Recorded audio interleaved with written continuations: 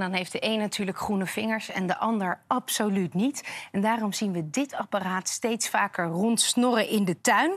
Papa met de beentjes omhoog, boekje in de tuin. De robot bekommert zich wel om de grasmat. Het klinkt allemaal heerlijk zomers, maar er zitten wat kanttekeningen aan. Los van dat het lui en niet gezond is, maakt de dierenbescherming zich grote zorgen om egeltjes.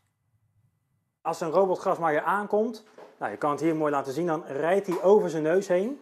Nou, dan probeert hij zich op te rollen, dus dan wordt, dat, dan wordt er gewoon afgehakt. Ja, dan is de overlevingskans natuurlijk heel klein. Heel erg vervelend om te zien dat mensen steeds verder van de natuur afstaan. En zo'n grasmat altijd net een, een golfbaan moet lijken. Terwijl juist eh, het wat hoger laten groeien met bloemetjes veel beter is voor de natuur dan een, een, een biljartlaken. Ja, zorg er in ieder geval voor dat zo'n, als je een robotgrasmaaier gebruikt, dat die alleen maar overdag uh, in gebruik wordt genomen. Want egels zijn nachtdieren en die komen in de schemering actief. En aan de andere kant is ja, toch dan met de hand gras gaan maaien. Maar niet iedereen heeft zin om met de hand gras te maaien. Ja, dan moet je geen gras nemen. ja, we hier aan tafel allemaal gras in de tuin, volgens mij. Ook een elektrische grasmaaier? Nee, nee, nee, nee, helemaal niet. Ik zie ze bij de overburen en denk iedere keer... ik woon aan het water, wanneer knikkert dat ding het water in? Maar dit vind ik nog enger. Ik heb zo'n braaf uh, egelhuisje met uh, hondenbrokjes en zo.